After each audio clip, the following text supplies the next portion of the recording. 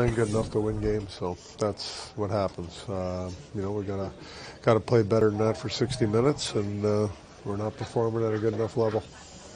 Are the, are the players still with it, or did they still do they still have faith in you? Is the chemistry there? I think we do. I mean, you know, I felt like we had good energy tonight. It's coming out, and uh, you know, things don't go right, and you know, we don't, we don't, we didn't fight back hard enough.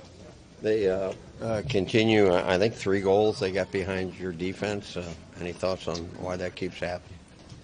Well, the one kind of halfway pinched on it, got caught on it. Um, you know, there was a face-off play they scored on where their D jumped by our winger and made a play at the net, went off their guy into the net, and then we turned the puck over late in the second period with, you know, there's eight seconds to go in the game.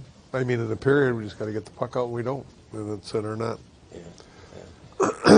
Sooner or later, the, the players have to decide to take this into their hands. I mean, how, is there like if you could one thing you could make you know do do better to, to kind of start? What what would it be?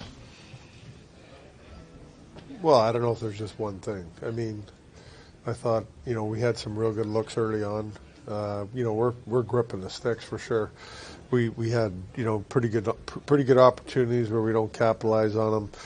Maybe not bear down enough around the net. Missed hit a post, you know, missed the net, things like that on real good opportunities. We don't capitalize on them. Um, and then you know we make a mistake, it's in our net right now. So it's not just one thing. I think it's a combination of things. Um, you got you got to play real good hockey to get out of this, and you got to you know do it together, and and, and you got to be competitive, highly competitive. You know, when things aren't going right, it's easy to not be as competitive, and and you know right now I think that's where we're at.